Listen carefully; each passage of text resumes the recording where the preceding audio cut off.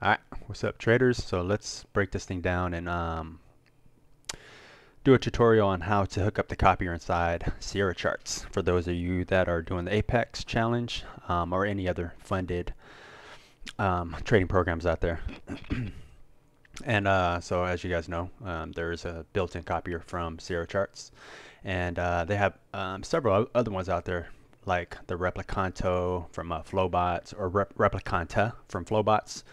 Um, Apex has a version as well. Um, and then also Frederick on Simple Trading Systems um, has a has a pretty advanced one to where you can actually copy um, trades from account to account from new instances to new instances on Sierra charts. Um, and but that's a whole another another game there. But uh, for now, we're just going to focus on the copier that's built into Sierra.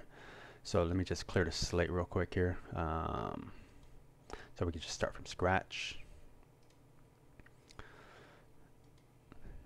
And I'm going to keep the other one up. So essentially what you want to do is you want to get one of your charts. So I'm going to assume that you guys have chart uh, Chartbook already hooked up. So we just cut through the chase rather than having to uh, hook up um, another ch uh, another chart here. So um, essentially what you want to do is let's just go ahead and do a new chart book. And this is where you're going to copy over your uh, your charts. Um, so we'll start with um, one, which is going to be your parent account. It's going to be your transmitter. So this is going to be your main trading trading window.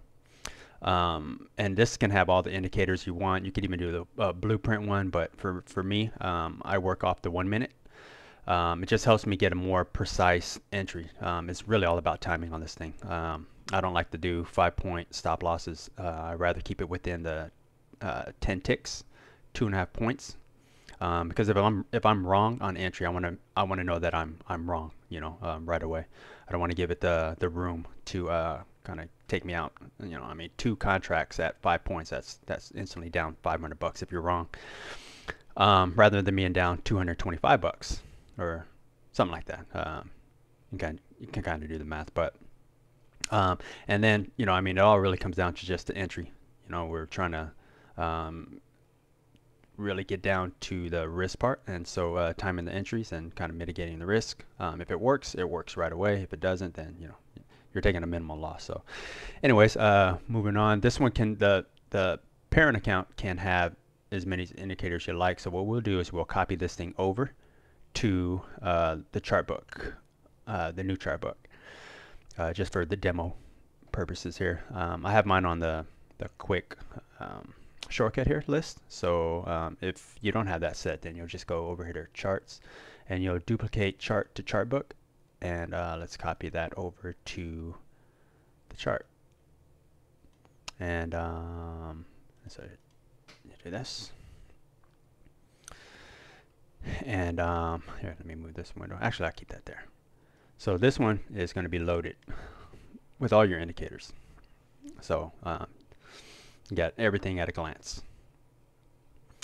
Um, and so now for the receiving accounts, the child accounts, um, doesn't need to have all of this, all of these things. It's just it just needs a very basic um, chart book here. So you'll copy it.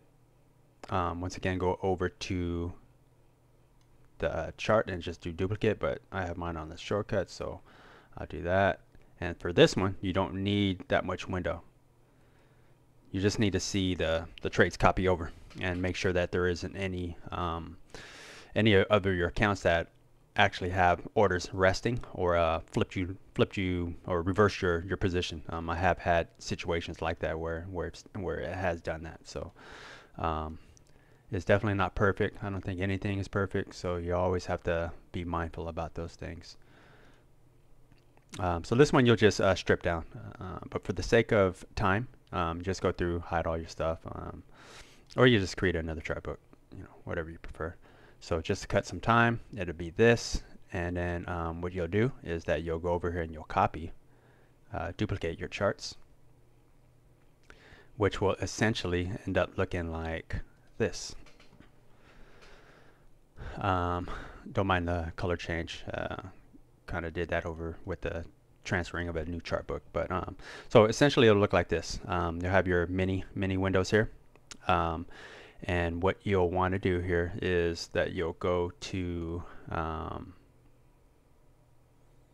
let's make sure you have your sim accounts all hooked up. So go to trade and we'll go to general trade settings. And this is where you'll hook up all the sim accounts that you can handle.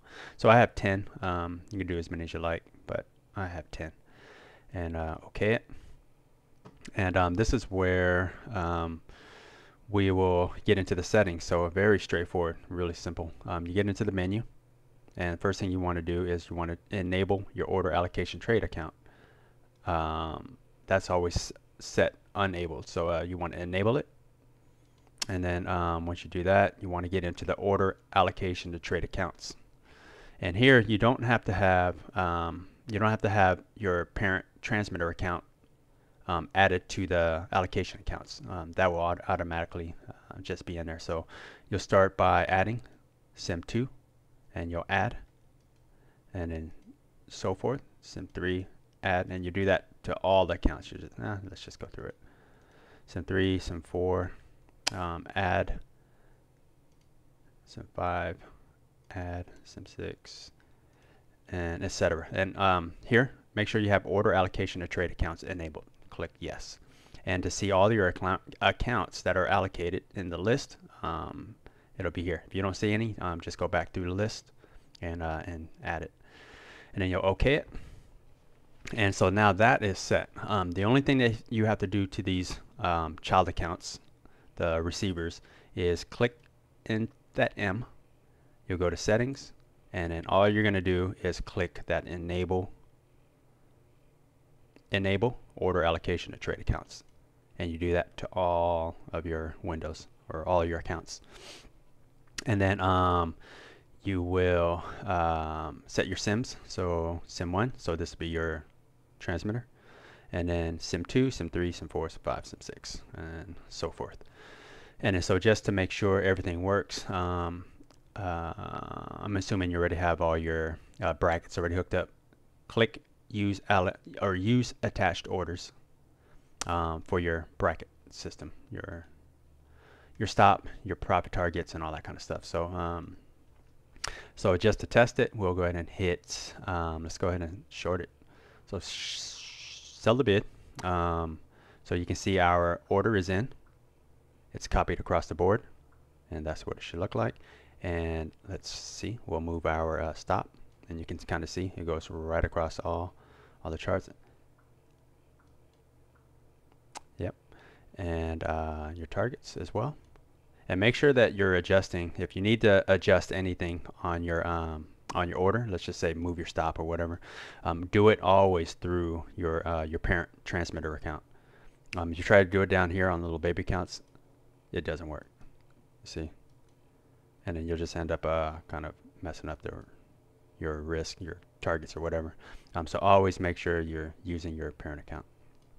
And essentially that's that is it. Um, exciting things to look forward to uh, to be able to leverage your um, your system here.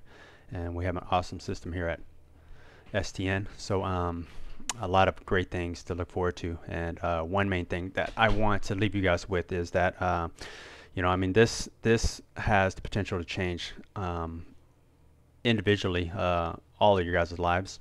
Um, but you know, granted that you have your all the you know criteria for um, a successful trader, risk management being the most most most most important thing. Um, I blew up many accounts uh, trying to get this thing, uh, you know, trying to get this thing uh, funded. But um, it's not, for me personally, it's not extracting the money out of the market. It is um, it is definitely on the risk side. So being triggered, um, you know that is the the thing for me but individually for each one of you guys you, you guys know the areas that you that you need to work on to um, get that success that consistency so um, continue just keep working working and uh, what I find you know the perspective that I look at is yeah we got a $50,000 account but um, look at it like you have a $2,500 account because you have that 2,500 trailing thresh um, that you know that stop so um, don't look at it as a $50,000 account. Look at it as a $2,500 account. And you should be perfectly fine. And just manage your risk accordingly. Um, oh, and then one thing too. Um, so to flatten it, and you kind of see it goes right across the board. Everything is all flat. and um, always make sure that you know there is no pending orders there. I've had some situations where my order um, has closed here, and um, mostly on all the accounts, but there is one that I don't know straggles or whatever. Um, as you can kind of see from the little delay here, you kind of see how they're a little offset. So if you're looking at how to move, um, when things are happening really fast, and I'm like, oh shit, let me uh, let me get this target out here, and then I end up doing that, um, puts me in, and one of them is still live, and you know the the, uh, the price action kind of turns it around the other way. So you have to be really mindful, and then look at your Rithmic dashboard to um, make sure that there isn't any uh, pending pending orders. Um, and that's basically it. And then um, you'll uh, you'll kind of build your your, your chart book around the the new um, the new layout. But for me, I have all my you know all my child accounts just floating on another monitor, um, and essentially I trade off of this here. So I have all the goodies that I need, and then um, on my side monitor, I have all, all of my accounts. So um, first tutorial here, so hopefully I um, I was able to you know be very clear about the setup. If you guys have any other questions, um, kind of confused in certain areas, don't hesitate to uh, to drop a message on uh, STN. And uh, yeah, I'll try to answer it as best as I can. Or we could even spend a, a personal Zoom session if you're still having troubles. Alrighty, guys. Well, let's get them. Peace.